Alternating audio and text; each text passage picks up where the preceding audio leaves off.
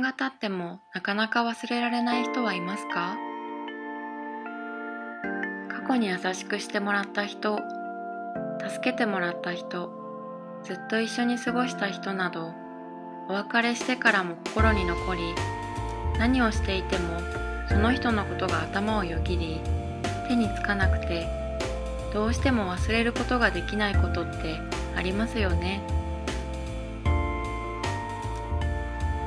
会いたいのに会えない。そんな気持ちってとても辛いものです。そんな時、あなたならどうするでしょう？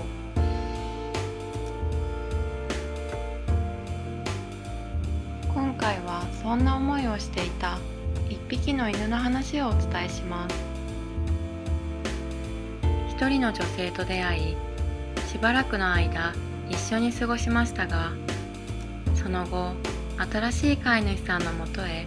行くことになった犬。ところが心の傷を癒してくれた女性のことを忘れることはできませんでした。どうしても会いたいそう思った犬は思いもよらぬ行動をとりました。一体どんな行動に出たのでしょうか。困難を抱える動物たちに深い愛情で接し信頼関係を築き上げ再び人間を信じ共に暮らしていけるよう尽力している人たちがいます。アメリカミネソタ州で里親ボランティアとして12年にわたり30匹の犬たちの世話をしてきた心理療法士の女性は去年心に病を抱える一匹の犬の里親となりました。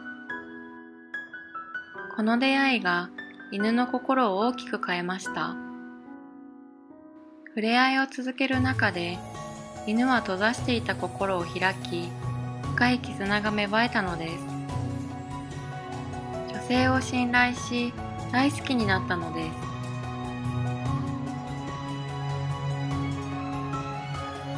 ネソタ州セントポールに住むセネカ・クルーガーさんは去年8月にメス犬のゼルダを里親として一時的に引き取ることにしました。セネカさんのところにやってくる前にも他の里親ボランティアに預けられていたゼルダは心の病を抱えていて抗不安薬を処方されていました。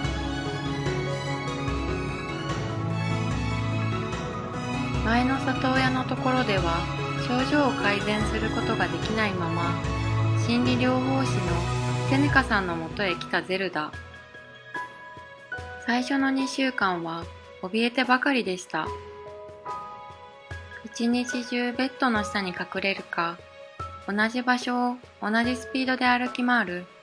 ペーシング行為を繰り返していたといいます。セネカさんは飼い犬2匹の協力を得ながらゼルダの心を何とか解きほぐそうと試みました。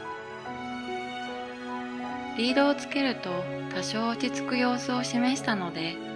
最初の2週間はリードをつけたままでリハビリトレーニングを行いました。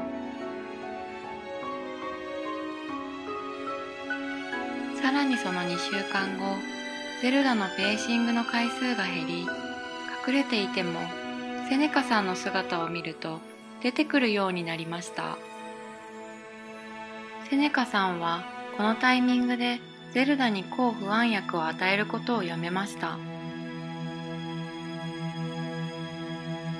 セネカさんの献身的な愛情はゼルダの心に伝わっていったようです。2ヶ月後にはセネカさんに尻尾を振るようになったゼルダ。さらに2ヶ月後には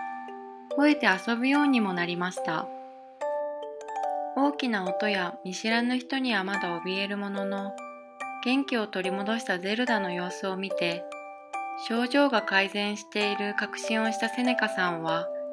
今年1月に永遠の家を見つけてあげる時期が来たと判断しました。幸い飼い主はすぐに見つかりミネソタ州ミネアポリス郊外シャナッセンに住む一家がゼルダの新しい家族となりました。ゼルダを一家のもとへ送っていく日、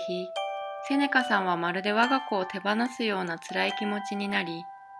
胸を引き裂かれそうになりました。こんな気持ちになったのは、12年の里親ボランティア経験で初めてのことでした。涙が溢れ、運転していた車を止めなければならなかったほどでした。ゼルダにお別れを言った後も、セネカさんは3日間家で泣き続けました。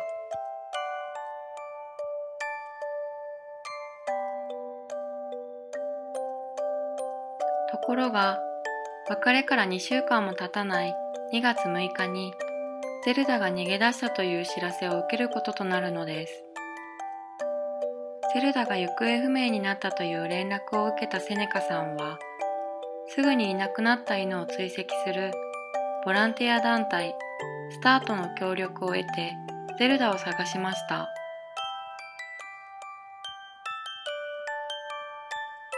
この時期、ミネソタ州は氷点下に達する気温が続いていて、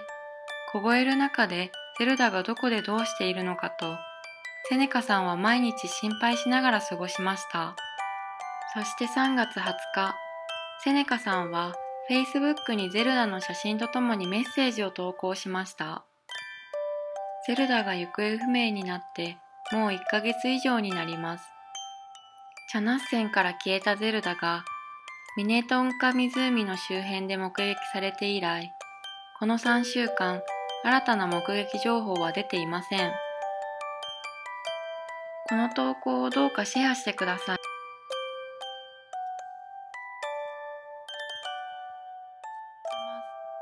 行方不明になってから2ヶ月後に、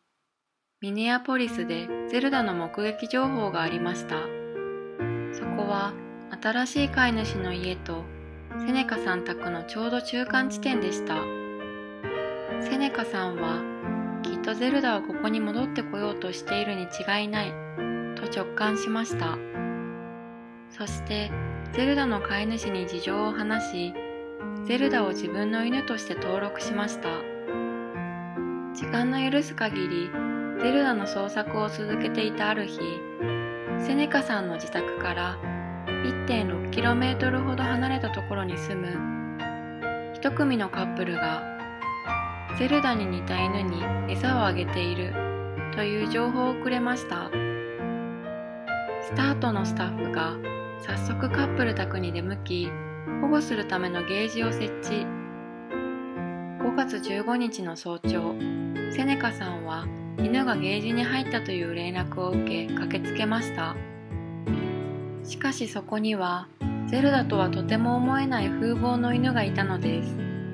小さく痩せ細り汚れ切った犬を見たセネカさんはこれは私の知っているゼルダと違う。と思いましたがマイクロチップをスキャンしたところまさしくそれは探し続けていたあのゼルダでした。長旅の疲れで変わり果てたゼルダを思い再会できた嬉しさでセネカさんはただただ号泣しました奇跡に直面したら泣くことしかできませんでしたあまりにも私が知っていたゼルダの面影から変わっていたのでパッと見てすぐにわからなかったことをゼルダに謝りました。そして97日ぶりにしっかりとゼルダを抱きしめました。とセネカさんは話しています。そしてゼルダが行方不明になってからずっと探し続けてきたこと。もうどこにも行く必要はないのだということをゼルダに伝えたそうです。ゼルダを飼い犬として引き取ることを考えてないわけではなかったというセネカさんですがきっとゼルダはもう随分前からそう決めていたのでしょうと語っています。きっとゼルダは唯一心を許せる人間のそばにずっといたかったのでしょう。約 64km の距離を97日間かけて大好きなセネカさんのところに戻ってきたのです。どうしても忘れられない人。この思いは犬にもあるのですね。ゼルダは心の傷を癒してくれたセネカさんのことを信頼し心を開くことができました。ゼルダにとってのご主人様はセネカさんだと心に決めていたのですね。何事もなく愛するセネカさんのもとに戻れてよかったです。このように言葉を話すことができない犬にとって気持ちを伝えることはとても難しいことですがゼルダの一途な思いが叶って本当に良かったです。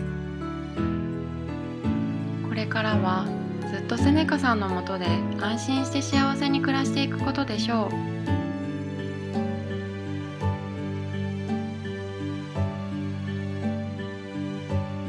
最後までご視聴いただきありがとうございました。